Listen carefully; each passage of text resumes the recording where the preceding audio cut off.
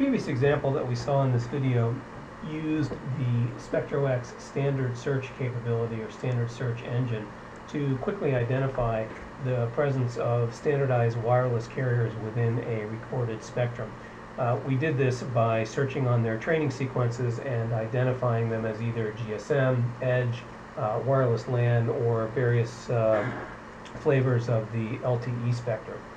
Let's take this a little bit uh, one step further and look at an example of a situation where a designer was building a LAN receiver, a uh, 802.11 LAN receiver that worked well in the laboratory environment but started to show packet drops uh, as he took it into the field. Um, we recorded the spectrum and uh, see the same, same four wireless carriers that we had seen before, but now in addition uh, there is this presence of what appears to be a frequency hopper, in some cases a pair of frequency hoppers hopping together, in other cases uh, perhaps two different carriers, don't really know, uh, individualized uh, frequency hoppers as well. In some cases actually fairly close uh, but not appearing to be hopping on top of the wireless LAN receiver itself. So we could certainly go through and, and as we had indicated in a previous video, peel back the onion by identifying those things that we know from those things that we don't. Uh, and we would use the standard search uh, to do that, and we would certainly come up with four wireless uh, re re uh, waveforms as we had in the previous demo. Let's assume that we had done that. We still would not know what these frequency hoppers are doing and whether or not they're actually causing damage uh, to the uh, ability of the LAN receiver to work properly. So another tool that SpectroX gives us is the what we call zoom box. The ability very quickly to zoom in on a particular portion of the frequency domain to define a time window within that frequency window and just play that zoomed in portion. Since the wireless LAN receiver and its occupied bandwidth is the area of interest, let's go ahead and draw a zoom box uh, around that portion of the spectrum.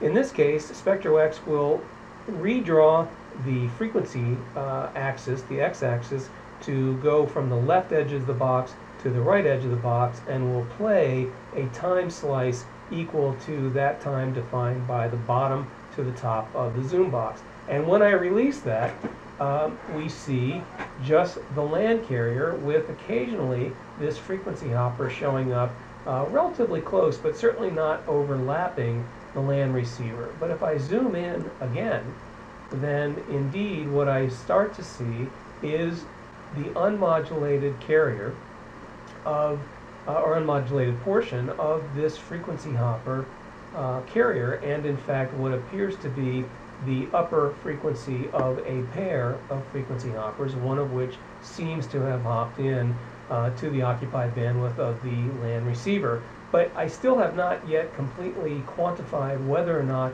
this is what's causing the problem. So a feature of SpectroX allows me to place markers on either side of a portion of the spectrum recording that I'm interested in and to export that delimited data to a file format that is usable by other pieces of software. One of which is the Agilent uh, 89600 uh, vector signal analysis software. This is a, uh, a uh, software program that actually takes the exported spectrum from SpectroX and demodulates it uh, into and shows us the actual demodulated symbol constellation. In this case, since it's an 802.11 spectrum, we can go ahead and tell it that that's in fact what it is and set it up to demodulate and show the symbol constellation. Now, I know that the original timing start zero here was 1.2, almost 1.3 uh, milliseconds in length. If I add another almost 0.4 milliseconds to that, what I need to be looking at is a time span into the file of somewhere around 1.5 to 1.7 milliseconds. I've set up the frequency display in the demodulation program, the Agilent demodulation program, to correspond to the same frequency display that's in SpectroX's spectrogram. Here's this one Bluetooth carrier on the left, and here is the LAN um, spectrum in a peak power uh, display. So if, in fact, a second frequency hopper was hopping in here, the power would be consumed and would not be specifically visible, but would be part of the power, the overall peak power display in the, uh, in the spectrogram in the Agilent software. So if I move my time marker uh, to some location short of 1.6 milliseconds, I see a very clean constellation, this 64 -ary QAM uh, wireless LAN constel symbol constellation, and very clean uh, tones, pilot tones. But if I allow this to move forward in time, up close to 1.6 milliseconds, all of a sudden, here's the lower frequency blue or a lower frequency hopper, and theoretically, the other hopper buried in the in the power spectrum. And sure enough, the constellation has taken a major hit, and the pilot tones have lost lock. This program also allows me to actually measure the change in the error vector magnitude, and if I were to display that, sure enough, it would display a substantial increase in EVM, uh, error vector magnitude, as a result of the, the hopper itself.